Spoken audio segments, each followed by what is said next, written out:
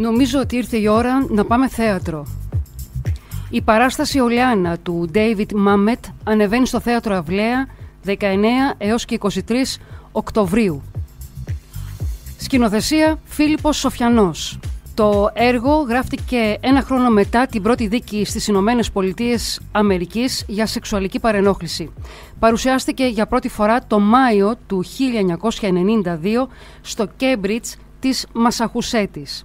Ο David Mamet, ένας από τους διασημότερους συγγραφείς, σεναριογράφους και σκηνοθέτες, είναι γνωστός για την ακριβή χρήση της αμερικανικής γλώσσας, αλλά και το ενδιαφέρον του για τις σχέσεις που διαμορφώνεται μεταξύ γλώσσας και συμπεριφοράς.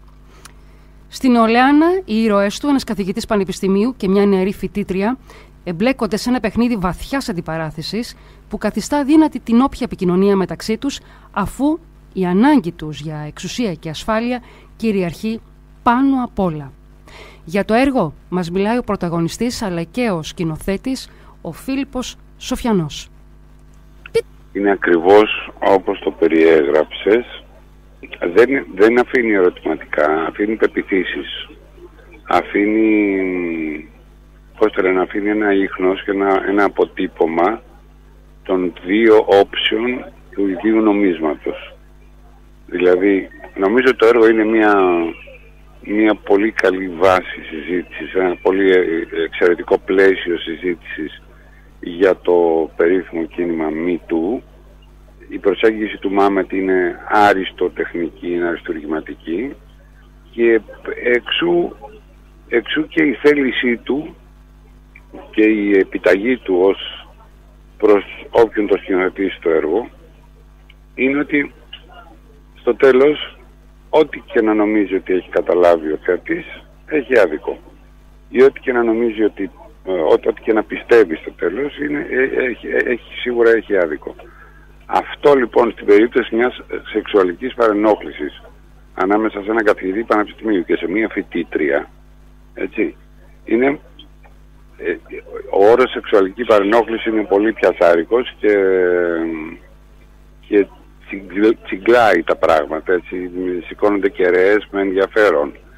Όμως πότε ορίζεται και πώς ορίζεται η σεξουαλική παρενόχληση; Δηλαδή τι, τι αποτελεί σεξουαλική παρενόχληση; Είναι ή δεν είναι; Ο, ο καθηγητής παρενόχλησε σεξουαλικά τη φοιτήτρια ή όχι; Η φοιτήτρια του διέλυσε τη ζωή του καθηγητή ας πούμε κάνοντας χρήση προσφεύγοντας ας πούμε στην, ε, στη δικαιοσύνη για αυτή την ε, καταγγέλλοντας ας πούμε μια σεξουαλική παρενόχληση. Αυτά, αυτά τα θέματα τίθεται στην, ε, στην παράσταση. Ναι. Βέβαια, γραμμένο το, στις αρχές του 90, της δεκαετίας του 90, θέμα που απασχολούσε και τότε, απασχολούσε και πιο πριν, απασχολεί και ναι. τώρα. Κοίταξε, το 92 που γράφηκε το έργο ήταν η πρώτη μήνυση που εκδικάστηκε σε Αμερικανικό δικαστήριο και εισήχθη η έννοια sexual harassment, σεξουαλική παρενόχληση, από το 92. Σε, εμείς αργήσαμε λιγάκι. Έτσι, γι' αυτό το, το έργο είναι, είναι σατανικά επίκαιρο. Εμείς μόλις πριν από δύο χρόνια, τρία, ε, πιάσαμε στο στόμα μας αυτό τον όρο. Από την στιγμή που βγήκαν συνάδελφοι στο, στο, στα φόρα, στο, στο δημόσιο λόγο και κατήγγυλαν συμπεριφορές αντισυμβατικές και προσβλητικές. Ναι, τώρα που αναφέρετε, το, που το χώρο σας και αναφέρετε και το MeToo, το οποίο στην ουσία ξεκίνησε από το χώρο του θεάτρου. Κύριε Σοφιανέ, άλλαξε κάτι; Τι βλέπετε εσείς; Κοίταξε, ότι είναι, υπάρχει σύγχυση ακόμα. Υπάρχει σύγχυση ακόμα, δηλαδή δεν τα πράγματα μπορούν να ξεκαθαρίσουν μόνο σε θεσμικό επίπεδο.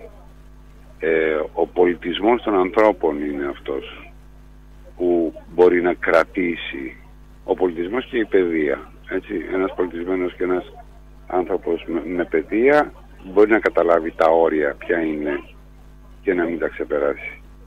Από εκεί και μετά ένας άνθρωπος που στερείται πολιτισμού και, και παιδείας δεν καταλαβαίνει, έχει, έχει, έχει βαριά κληρονομιά από μια πατριαρχική κοινωνία από πίσω η οποία αντιμετωπίζει τη γυναίκα ως ε, αντικείμενο, ως φόβου, ως ε, οτιδήποτε.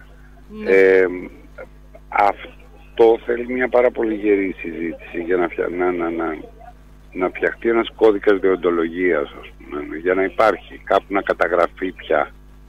Γιατί είναι πολλές οι εκφάνσεις της παραβατικής συμπεριφοράς. Είναι πολλές οι εκφάνσεις. Δεν, δεν είναι μία, δεν, δεν εστιάζει ας πούμε, στο σεξουαλικό και πώς, πώς ορίζεις ας πούμε τι είναι σεξουαλική προσβολή; Μπορεί να είναι ένα βλέμμα και το κοιτάς τον άλλο με έναν τρόπο ας πούμε να το κάνει να νιώθεις άβολα, άσχημα.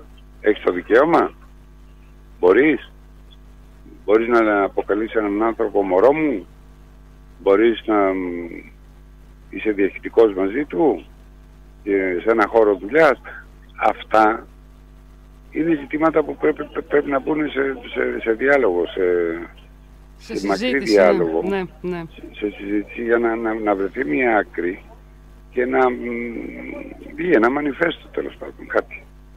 Βέβαια, στη, στις, σχέσεις στις εργασιακές σχέσεις, στις ε, φιλικές κοινωνικές μας ε, σχέσεις, πώς μπορούν να μπουν να τοποθετηθούν ε, κανόνες; Είναι και το θέμα αντίληψης του καθενός αποδέκτη ή, δεκ, ή, πομπού. ακριβώς είναι, είναι η δυσκολία. Εκεί ακριβώς έγινε η δυσκολία. Κύριε Σοφιανέ, μαζί σας είναι και η Δένια Μημερίνη. Οι δυο σας θα είσαστε πάνω στη σκηνή, έτσι; Ναι, ναι, ναι, ναι. ναι, ναι.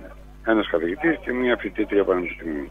Η κυρία Μημερίνη είναι Θεσσαλονικιά, είναι η πρώτη της ε, παράσταση. Ακριβώς. Η, η πρώτη της συμμετοχή.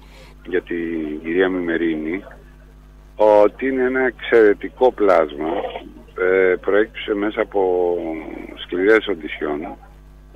Επαξίως και δικαίως κέρδισε το ρόλο. Η εμπειρία της και η, η πρωτιά της δεν έπαιξαν ε, ρόλο δηλαδή δεν μου δημιούργησαν αναστολές. Αντίθετα νιώθω ας πούμε μια βαθιά ικανοποίηση σαν άνθρωπος παλιός του θεάτρου σαν παλιά καραβάνα ας πούμε στο θέατρο να συστήνω στο κοινό έναν πραγματικά ταλαντούχο και σπουδαίο ηθοποιό, όπως είναι η Δένια. Είναι χαρά Θεού να συνεργάζεται κανείς μαζί της. Η ευφυΐα της νομίζω ότι είναι πολύ πάνω από το κανονικό και η σκηνική της ευφυΐα και η συναισθηματική της ευφυΐα επίσης. Ε, έχω να κάνω με έναν εξαιρετικό συνεργάτη. Η παράσταση είναι αποτέλεσμα σκληρής δουλειάς και είναι από αυτό που θεωρώ, τη θεωρώ παιδί μου ας πούμε και την υπογράφω με όλη μου, με όλη μου την ε, ενέργεια και με όλη μου την αγάπη έτσι. Τη θεωρώ πολύ σημαντική παράσταση σταθμό στην καριέρα μου. Ολεάνα, η παράσταση η οποία κάνει πρεμιέρα αύριο στο θέατρο Αυλαία και θα είναι ως και τις 23 Οκτωβρίου μετά θα συνεχίσει σε Αθήνα. Ένα ε, έργο το οποίο έχει δημιουργήσει και πολλές ε, αντιδράσεις όταν γράφτηκε δηλαδή το 1992 οι κριτικοί αντιμετώπισαν το έργο ως μια δεξιά πολεμική ενάντια στην πολιτική ορθότητα ενώ για τους αριστερούς ο Μάμετ έγινε σύμβολο της τοξικής αρενοπότητας.